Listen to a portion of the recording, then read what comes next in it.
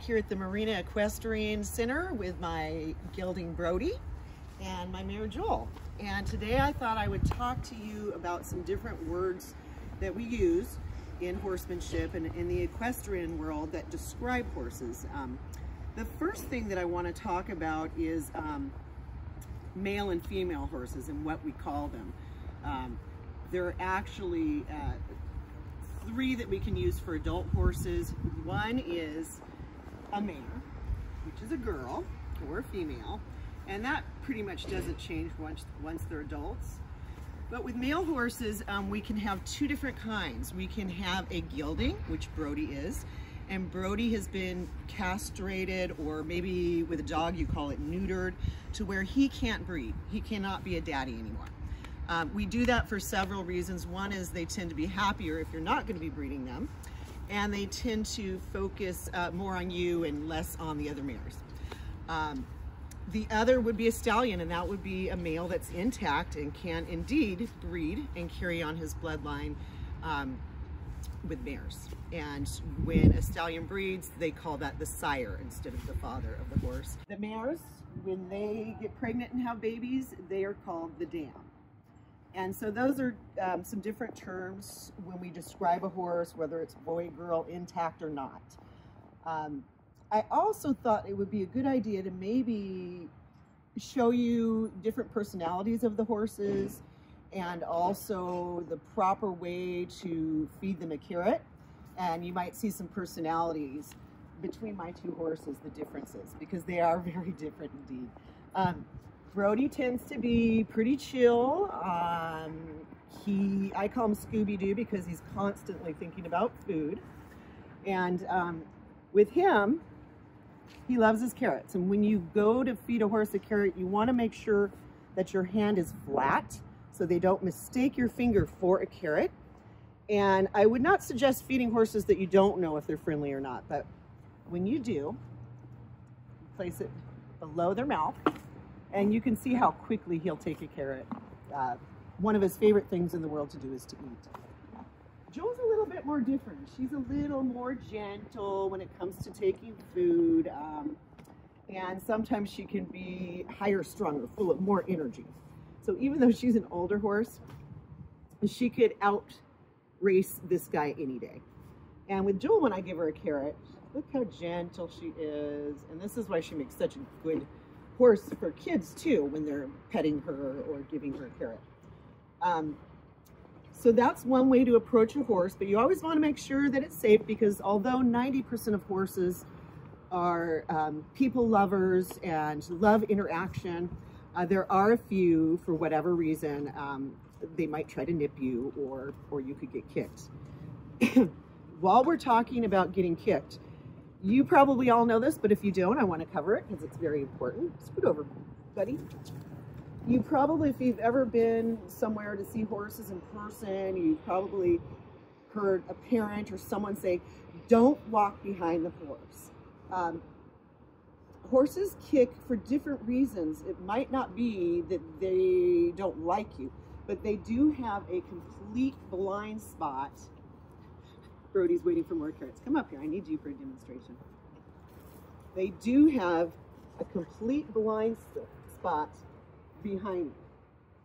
So you could walk behind them and they could kick you not knowing who you are. They might think you're a predator or they just might not like it. So when you are walking behind a horse, make sure you walk far enough around the back to where if they did kick out, they can't reach you. So that's always a good thing to know. Um, another thing that I'd like to talk about, when I was a kid, I collected Breyer horses. And I was fascinated with the different colors of the horses. And my favorite was, I thought it was a white horse at the time. Of course, I learned later on there is no such thing as a white horse. There are gray horses that appear white, and there are cremellos.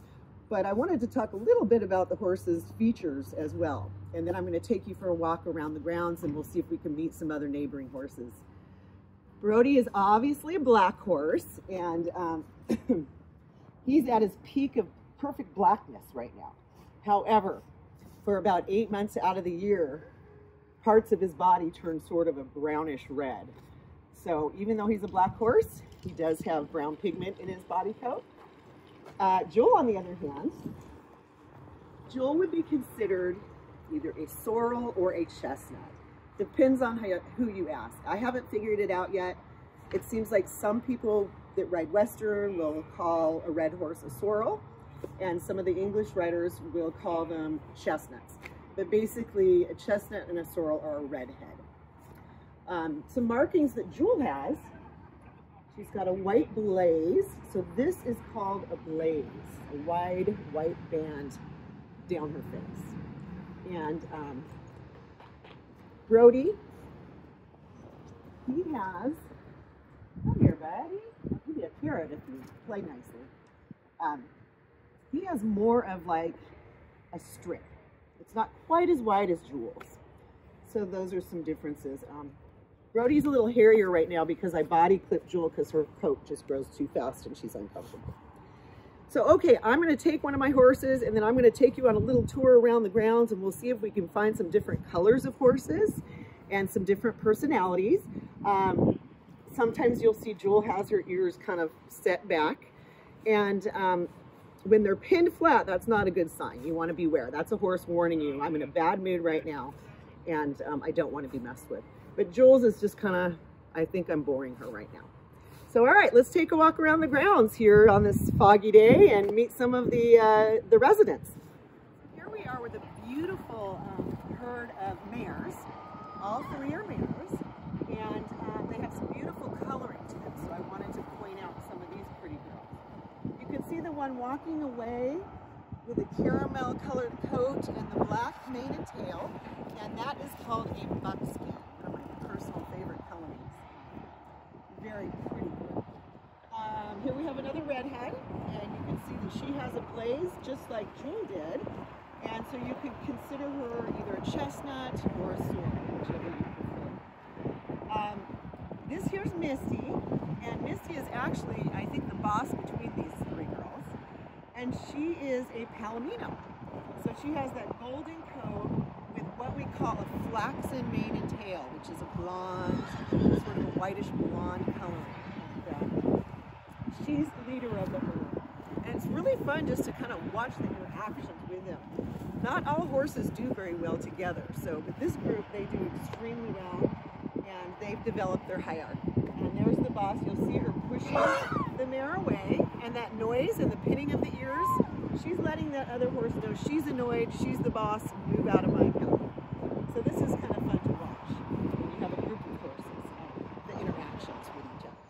So here we have a paint horse, um, one of my daughter's favorite colorings because obviously they're very fancy.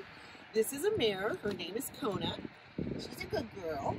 Um, so she's a beautiful example of a paint horse and she has white and bay, so she would be considered a bay paint horse. And you can see too with the paint horses, sometimes they have different colors in their mane and tails. Um, so they can have a combination of different tones kind of uh, pretty to look at. Uh, we've got another paint horse over here. And this is JJ. JJ is a sweet boy. Hi there, buddy. And in some ways, he looks a little bit like Brody because he's got those stockings with um, dapples on them. Here we are with Finnegan, and Finnegan, if you can see the white hairs mixed in with the red, when there's combination of hairs that are mingled this way, um, you call it a roan.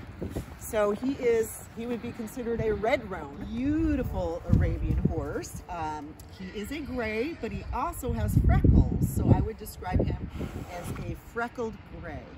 And you can sometimes tell an Arab by the little dish they have in their heads. Um, bye, Wizard. I've got one more color for you here today, and this is Blackhawk. He is actually called a bay, not a brown horse, but a bay. And some components of a bay horse is this brown coat. And you can see they have black points. He's got black on his legs. You might be able to see a little black in his mane and tail and around his nostrils. He is a bay, and someone is jealous that I'm not paying attention to him. So that's all I've got for today. Thank you for horsing around with us at the Marina Equestrian Center. Until next time.